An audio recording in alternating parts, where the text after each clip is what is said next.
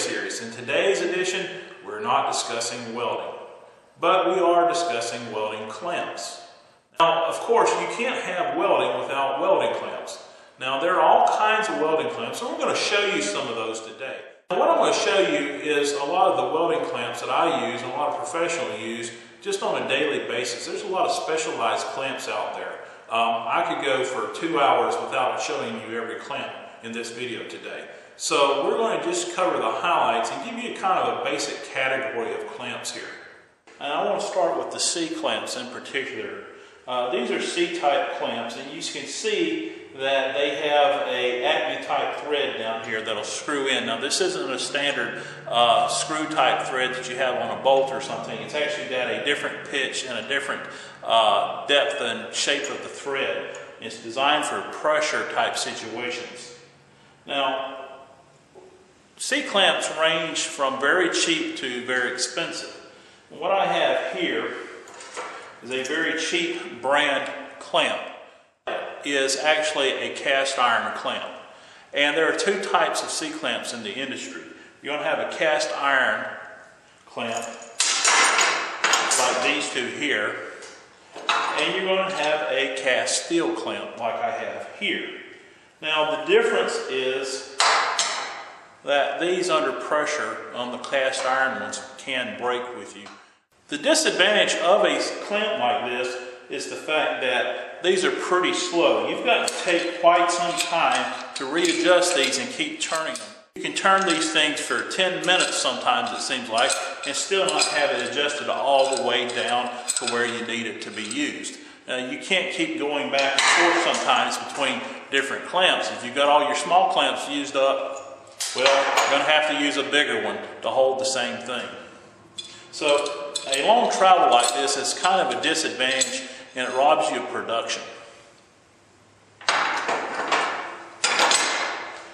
Now, next we have what I call the sliding bar clamps. Now, they range in size, and you can actually see how fast these are to adjust here. Now, they work off a kind of a cantilever principle here, and the actual friction does the holding for you.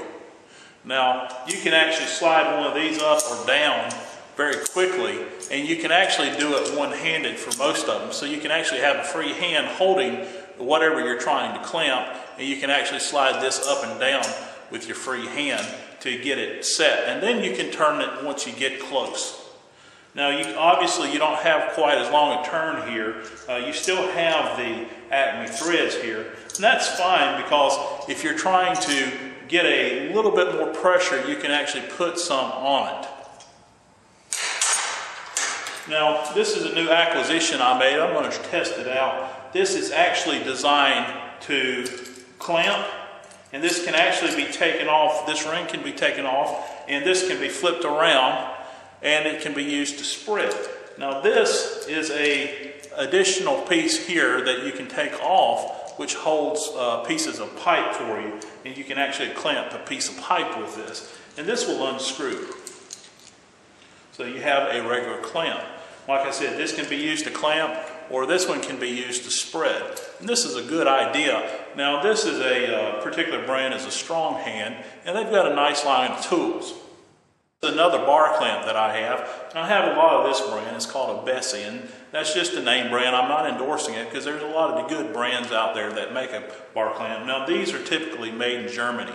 Uh, they're really a good brand, got a good quality metal to them. I've never bent one even though they are this really hardened uh, type uh, tempered steel here, uh, it's never bent on me or broken.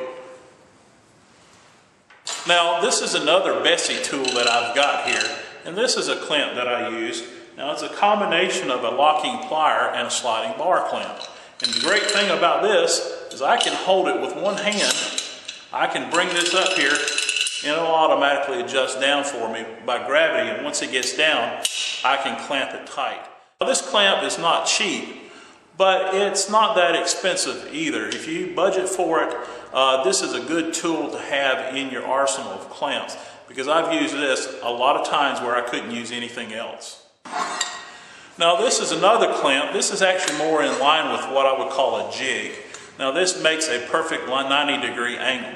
Now they've got new ones out that will actually give you a third dimension where you have a post coming up straight here, but this will hold uh, any kind of tubing, round or square, so that you can actually weld it down the center here. Now it's got some slots in the back here where you can mount it permanently or semi-permanently so that you can set up a whole jig system for building something up. Now even a little locking plier like this is sometimes helpful in welding. You just need a little tiny piece held, a very delicate part, and if you're TIG welding, these really come in handy a lot of times. I've got two pair of locking pliers here that are actually uh, name brand pliers. They've been around in the shop a long time. I've had them for years and I've used them in all kinds of weather and activities. But uh, you actually have two type noses here. And this is actually more of a mechanics type nose here. I use it, but it's got this rounded feature here in the throat here so that it can grip something round. This is more for gripping sheet metal while you're welding or two pieces of plate metal. It's got the straight jaws here and it holds a little bit better. But I do use both types. Uh, if I find one on sale, I'll buy another set. So I don't really care what type throat is here. If they're cheap enough, I'm going to buy it.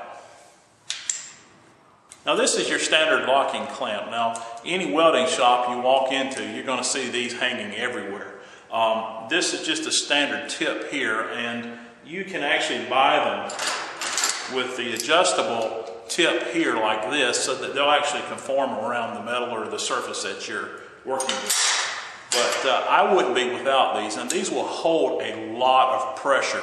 You can adjust the clamp down here to accommodate the size of metal that you have and when you clamp down on it you want a little bit tight so when you lock it it will actually grip very tightly. Now you can get these clamps like this in a lot of different sizes. Now I've got this one uh, it's a little flimsy out here. This is not a really expensive clamp, but I bought it for one particular use one time, and I've actually used a lot more than I thought I ever would. It doesn't take um, long to get a lot of money to invest in one clamps. And one of the things you need to do is really make sure that you have it in your budget because you can go out and buy a handful of welding clamps and blow your entire profit on a job if you need to have some to complete a job.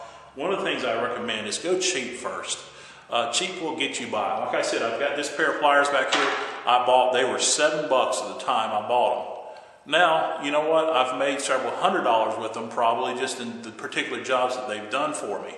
But the problem is, is that they don't work real well, but they've gotten me by. Now, I've got good name brand product in the rest of these clamps, except for my small cheap C clamps. And I'm going to tell you, uh, these right here, you can buy a whole handful for 25 bucks. And this is a good way to get started. No, they're not fast, they're not convenient, but you can have plenty of clamps uh, to hold what you need when you're welding. Starting off cheap is fine, but eventually you're going to want to get a better, more expensive clamp set. And I would recommend looking and, and surveying the product reviews of these clamps before you buy them. And the other thing I would say to you is save the money, buy a good clamp when you can afford it use it as a little self-indulgence because it's going to come in handy and it's going to pay for itself. Sometimes it's going to pay for itself the first time you use it. Now, I'm not going to pretend that this was an exhaustive lesson on welding clamps. Um, I wanted to give you a good idea of what's out there that's easily available to you without costing you an arm and a leg. Now, welding clamps aren't something that we sell at Everlast. But it's something that a lot of our customers have questions about and call us from time to time asking us how to get started. Of course, in that same spirit, if you have any questions about welding, our products, or even welding clamps, give us a call at the number listed at the end of the video.